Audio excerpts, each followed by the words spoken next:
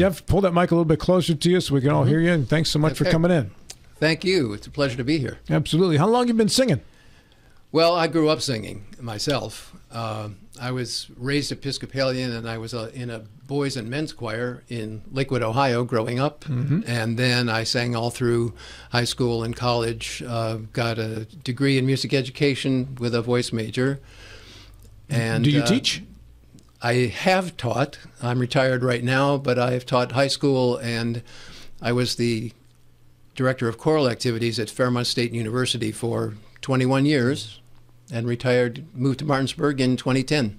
All right, let's let's try something here. Bill, let me hear your best uh, best uh, tenor voice here. I'm, You I'm going to I'm going to start you, off with you this. should probably ask some of my singing stories first.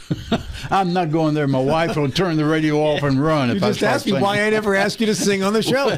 I can give you a thousand reasons why you don't ask me. If you want the most tone deaf person in the room, that's me. Is that you? well, you and I are I- close. so I appreciate you know what you can do because it's I have no, I don't have the ability to sing whatsoever.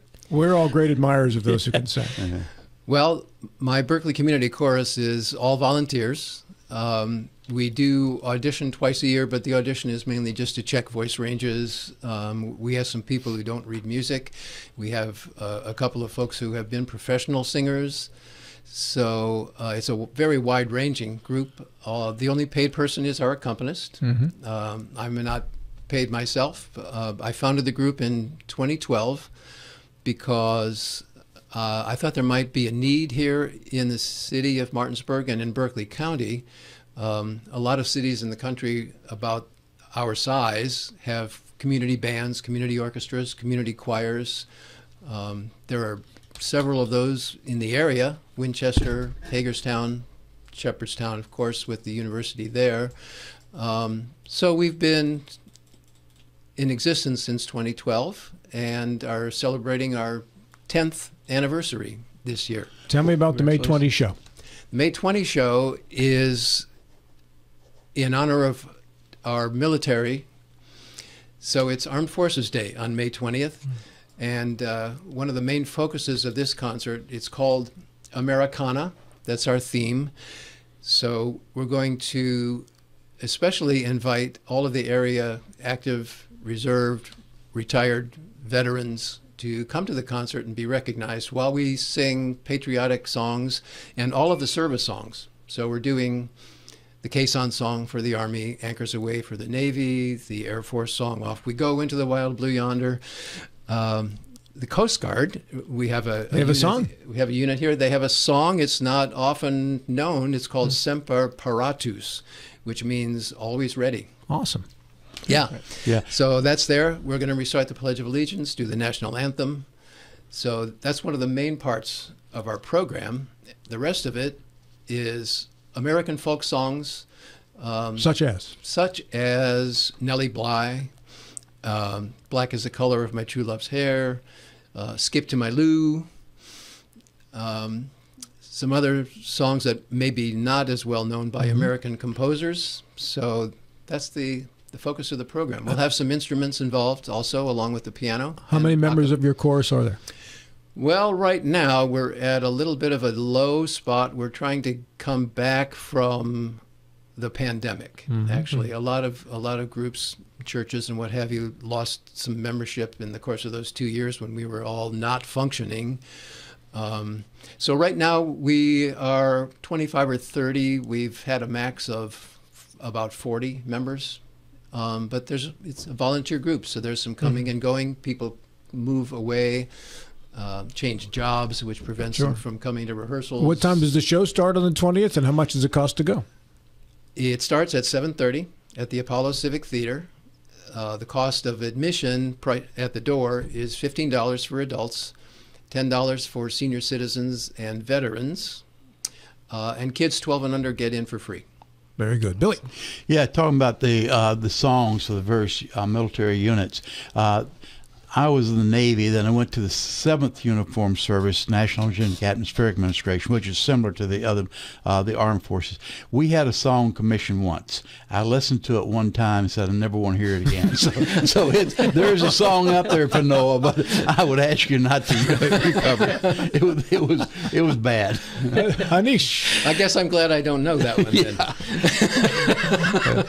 And I took some responsibility for commissioning. That was before I actually heard the song. It was The, the, that one, huh? Yeah. So Jeff, you said you said it's a volunteer group. Um, where where do you all meet, and and how do people get involved if if you know they're curious about joining the group? That's a great question. Um, we meet right now at St. John's Lutheran Church in downtown Martinsburg, Okay, uh, the corner of Martin and Queen Streets. And we rehearse on Tuesday nights from 7 to 9 p.m. Um, the audition, as I said, is, is just mainly so I can get an idea of what a voice sounds like and, and the vocal range. So I put you in the soprano, alto, tenor, bass section. Yeah. Um, yeah, so those announcements are made in the journal newspaper, on our Facebook page, and our website, which is www.burkecomchorus.org. Okay. with St. John's. I assume uh, Joe Brookson's part of your group. I don't know, Joe. Oh, no, okay, obviously he's not. Feel free to invite him to come. Oh, he's good. He's got a wonderful voice. Got a wonderful voice. yeah, so. yeah, great. Well, like like many choirs, um, uh, we we need men Yes. more than women. Jeff, how much of the ability to sing is God given and how much of it is coachable? everybody can sing. Uh, a lot of people say I can't sing, I can't carry a tune. Everybody can sing, actually, and everybody is is coachable. Um, there's this very small percentage of folks who are what we would call tone deaf. And Yeah, actually that's me. Yeah, and, I, and I'm in that same category. yeah. Can't, can't match pitches, but there's a Yeah. far greater majority of folks who think that's true, Yeah. and it really It's not. isn't. Sure. So what's what's the difference between the average shower singer and and you? What what is what are the things that the average shower singer isn't doing well that you could coach? Uh, I, there's some really good folks singing in the shower. I think that don't, don't actually know how good their voices are. Um, coaching in, involves mostly uh, techniques of breathing and placement of the voice, so that that uh, you can produce a good tone quality and maybe extend your range either up or down. Um, and then there's aspects of uh, how to use your voice for different styles of singing. So you, you have a coach or a, a teacher, and it kind of depends on what sort of repertoire you want to perform. If you want to be a country singer, uh, that's going to be a lot different, obviously, than an opera diva. Sure. Yeah. So So Jeff, how how do people in the community get in touch with your group if they want you to perform? Um, you know, at at an event that they have. I mean, do, do you do things like that? Are you busy throughout the year as a group? um, right now, we mainly do two performances a year. Uh, we sing in December uh, on the second Saturday of December, and a spring concert on the third Saturday of May. Okay.